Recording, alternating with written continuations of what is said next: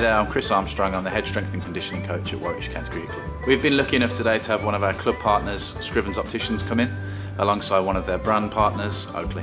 They've, uh, thankfully for us, they've done their annual eye test with all the players, uh, just seeing how their, their normal vision is. Uh, and then they've also introduced us to Oakley, where they've actually presented some of their new technology. They've got a new lens uh, called the Oakley Cricket Prizm, uh, and they've just developed that specifically for cricket, uh, similar to the way they have different lenses for other sports, and they've, they've introduced that to the players and shown them its capabilities. So we're all sorted for the season. Please go down to Scrivens and get your eyes tested, where you can get a nice pair of Oakleys.